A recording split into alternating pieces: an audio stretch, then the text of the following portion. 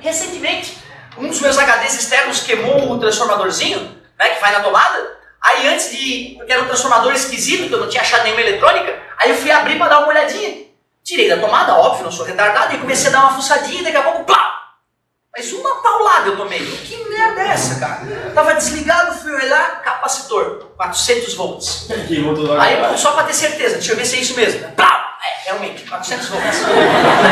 É que é rapidinho, não corre risco de morrer, entendeu? Porque é rapidinho. Diferente de uma televisão antiga. Não abra uma TV antiga, que mesmo fora da tomada tu pode morrer. Nem quebrar, Certo? É. Porque dentro dela tem capacitores fortes que armazenam a carga mesmo fora da tomada, isso encosta ali.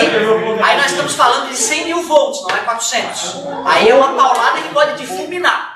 Tanto que assim, ó, abriu a TV, meu querido, abriu a TV, já tem um adesivo bem grande no tubo de imagem. Risco de choque elétrico. Não mexer.